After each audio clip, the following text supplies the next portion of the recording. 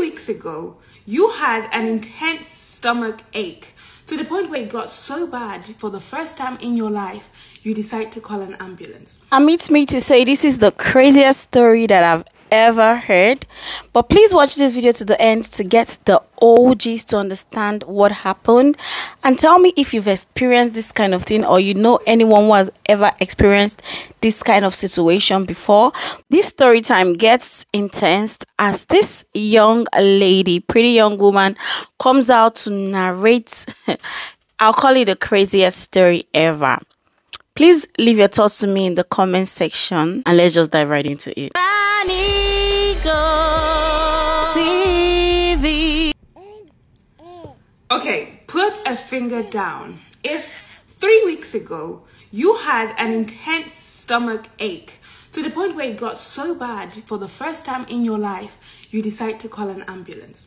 But of course, you live in the UK and the ambulance service tells you you need to get a cab to the emergency room. So you call an Uber and you do oh. just that. And the Uber is concerned because you're groaning in pain, but you tell him not to worry because you're going to the emergency room. And when you get there, of course, there is a long wait. So they tell you to sit and wait for approximately four hours. And while you're there, you're groaning and you're uttering in pain. And a few hours later, your husband joins you and he's concerned, but there's nothing you can do but wait. But then you feel the really intense urge to poop. So you run to the closest restroom, you lock the door behind you, and you sit to poop. You don't even clean the seat. That's how that's how urgent it was, okay? And so you're sitting there and you're pooping and you're pushing and it hurts, but it feels so good to push. And you're pushing and pushing, and then you hear a big plop. And so you stand up and you look down, and that's when you realize you just gave birth to a baby. But it gets worse. It gets worse. So you pick up, your instincts kick in and you pick up this baby and you're looking at this baby and you realize someone is screaming and upon closer inspection, that someone is you. You're screaming. You're screaming to the point where your husband is trying to break the door down because you have not been answering his, are you okay in there questions. Before you can even react to him breaking the door down, you feel this intense wetness and you look down and your water broke. And you're thinking, hmm, strange. Because you thought the water would break before the baby, right? That's what you've been taught. I mean, this is your first baby, so you don't know anything. But before you can even think of that, you feel the urge to poop again. But this time it is poop. It is poop. And as you're standing there holding this newborn and pooping, your husband has managed to break the door down.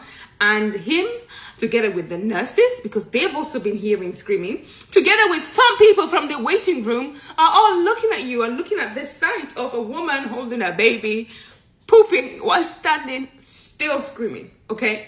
Then the nurses approach you someone takes the baby and then you hear the baby cry and then you feel relief even though you're like what just happened? Okay but before you can even say anything you hear the nurses say She's having another one. You're thinking, another what? Another poop? Another what? But before you can even think that, you're pushing. You're pushing. And this is familiar to the first push. So you know you're having another baby. Okay? Okay? And as you're pushing and pushing, you give birth to another baby. But this time it hurt a lot more than the first. You know? But the nurses who are still in shock themselves tell you they don't have a maternity ward here. So they would have to call an ambulance, the same ambulance that denied you the first time. They would have to call an ambulance to take you to the closest hospital that has a maternity ward.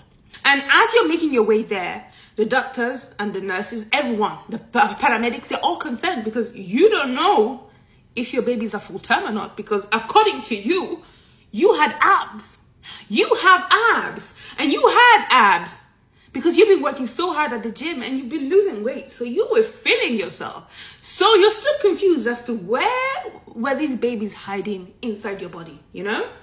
Anyway, you get to the hospital, they do the checks. The babies, they're not full term, but they're close to full term. And the doctors are impressed. So impressed to the point where they call the media, they call the press, but you have to tell them to hold off.